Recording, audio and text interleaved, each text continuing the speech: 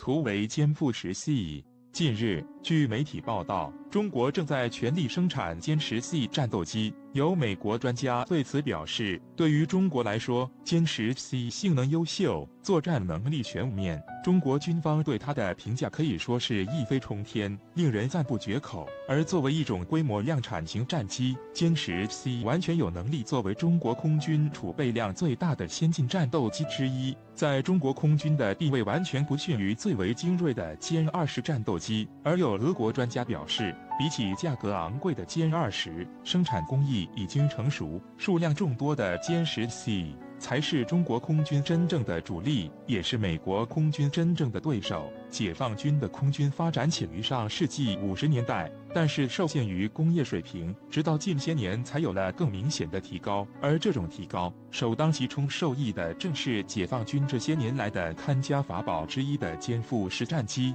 此前，歼负十 A 型战机的改进型号歼负十 B 战机已经入役部队了，但是由于各种原因，歼负十 B 很快。停止了继续入役，转而由更加先进的歼负十 C 战机代替入役，图为歼负十 C。一直以来，歼负十 A 战机因为许多原因备受外界质疑，比如说发动机水平不足、挂载弹药重量偏低、无法用于多个方面等。中国根据苏 -27 二十七战机改进而来的歼负十一战机，曾经长期压制歼负十战机，这给它的未来蒙上了一层阴影。但是，随着歼负十 B 的改进，歼负十战机的命运大有不同。而歼负十 C 战机在继承了歼负十 B 战机的改进的情况下，又做了更多的优化，使得这款原本缺陷很多的战机一下子成为了世界上顶尖的四代半战机。比如说，在发动机方面，歼负十 C 战机使用了大名鼎鼎的 AL 三十一 F 发动机，动力大大提升，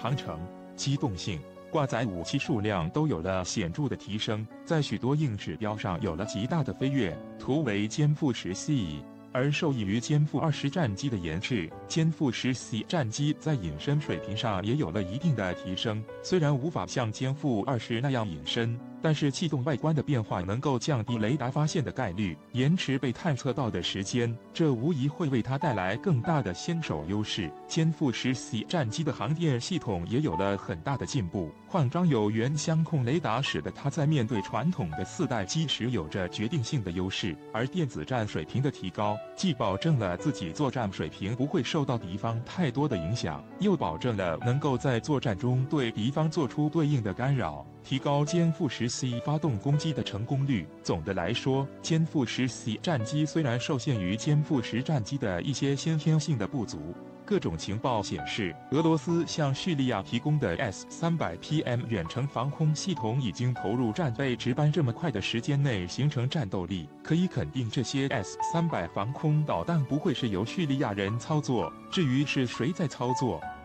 美国和以色列情报机构称是伊朗军人，不过伊朗革命卫队高级官员否认了这一指控，称相信自己的叙利亚盟友有足够的能力操作 S 三百。要知道。当年伊朗花费了差不多一年时间，才在俄罗斯的帮助下让其购买的 S 三百 PMU 二形成战斗力。近日，以色列发布了卫星图片，曝光的叙利亚 S 三百防空系统所在位置。图片显示，叙利亚的 S 三百距离驻叙俄军的 S 四百防空系统仅一三公里，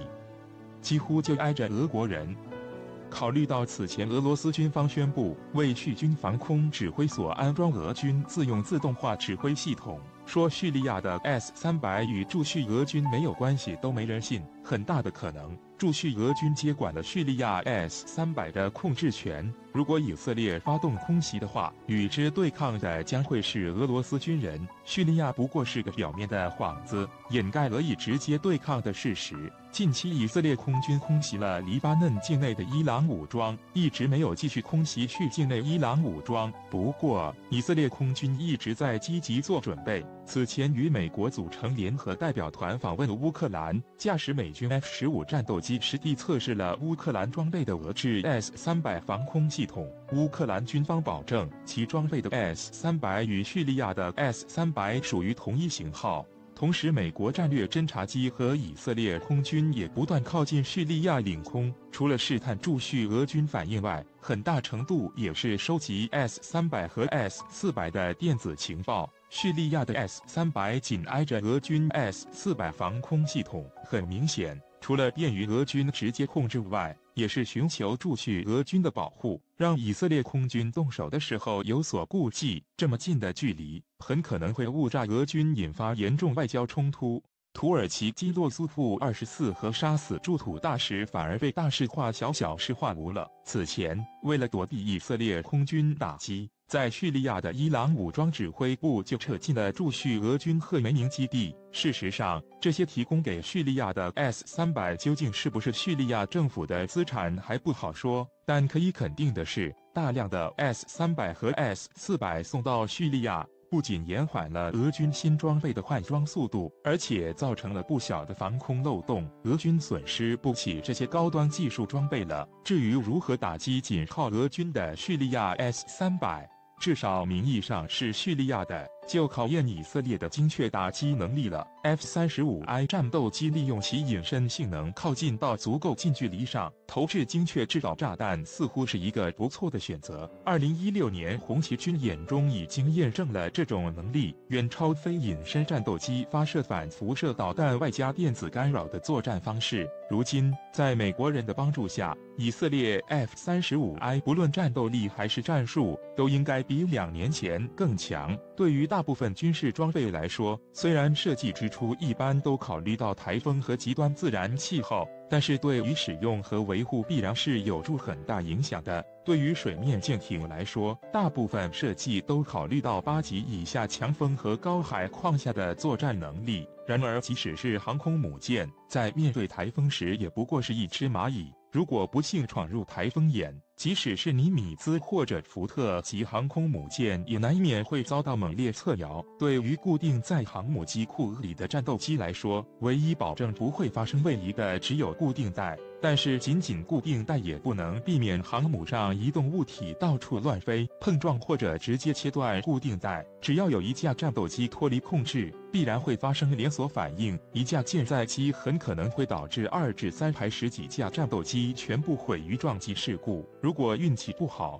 舰载机机内油弹被引爆，很可能会直接引爆航母弹药库或者反应堆，对于航母产生不可逆的致命损害。当然也不排除整艘航母葬身海底的可能性，而对于地面设施来说，问题的确要小一些。钢筋水泥的建筑物毕竟比水面舰艇更好规避台风，但是如果台风风力够大，或者是出现龙卷风状况，不排除直接卷起汽车拍打到建筑物上。被风卷起高速移动汽车的撞击后果不亚于钻的弹直接命中，大部分轻型掩体会被直接摧毁，很多机库和半封闭堡垒也会被极大的损伤。如果美军的 B 二轰炸机机库被损坏，那美国国防部真的要哭出声了。而对于美军的核潜艇来说，台风也是相当危险的。虽然台风基本不会影响水下目标，但是会引起大潮。对于潜艇兵来说，浪都不怕，就怕潮。一旦大潮或者大涌出现，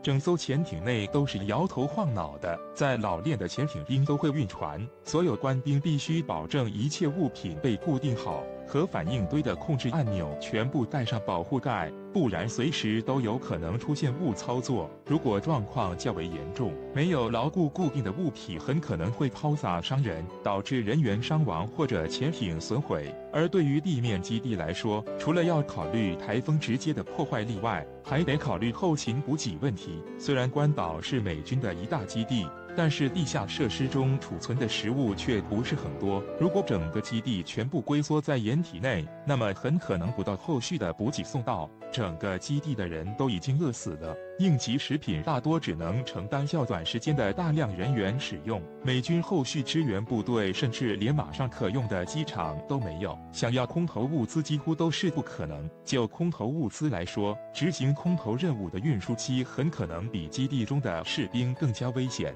由于美国本土到基地距离较远，很可能跑道已经损坏。运输机必须在进入台风危险区域前完成空中加油，不住路依靠降落伞进行空投。然而，由于台风时刻在行进，不排除运输机一头扎进台风的可能。虽然飞机大多有防风设计。但是大多无法承受十二级台风的破坏性，而由于搭载有空投载荷，无论是想爬升还是在台风中打开舱门扔掉载荷，都变得不现实。想要离开都跑不掉，所以美军这次选择在最短时间内撤离大部分装备，是一个正确的选择。关岛基地并不需要太多人员防卫，留下的物资如果仅仅维持一个步兵连的部队，甚至可以维持超过一个月。到时候无论如何，美军后。续部队都已经抵达。至于那些高价值、坏不起也修不起的装备，还是。